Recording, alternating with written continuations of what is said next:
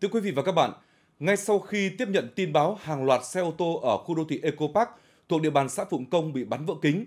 Công an huyện Văn Giang phối hợp với Viện Kiểm sát Nhân dân huyện tiến hành khám nghiệm hiện trường xảy ra vụ việc, đồng thời tổ chức xác minh, điều tra, làm rõ đối tượng gây ra vụ việc.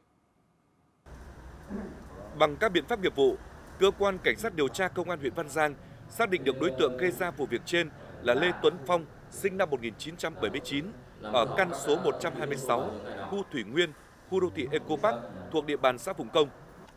Tại cơ quan điều tra, Phong khai nhận do một số người dân thường hay đỗ xe ô tô tại khu vực trước cửa nhà Phong làm ảnh hưởng đến vị trí đỗ xe của gia đình, nên đối tượng đã sử dụng súng cao su bắn đạn bi tròn, các viên sỏi nhỏ làm vỡ kính, bong chóc sơn của bốn chiếc xe ô tô đỗ trước cửa nhà. Hiện cơ quan cảnh sát điều tra công an huyện Văn Giang đang tạm giữ Phong về hành vi cố ý làm hư hỏng tài sản, đồng thời tiếp tục củng cố hồ sơ xử lý theo quy định.